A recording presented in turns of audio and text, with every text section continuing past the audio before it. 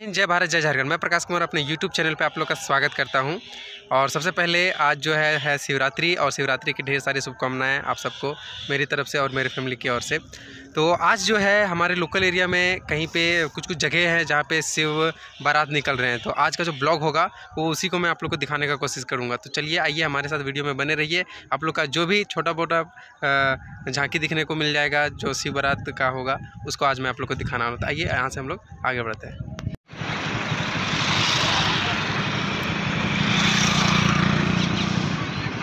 निकलने का चाहे जितना लेट कर लीजिए वापस आने का टाइम छह बजे।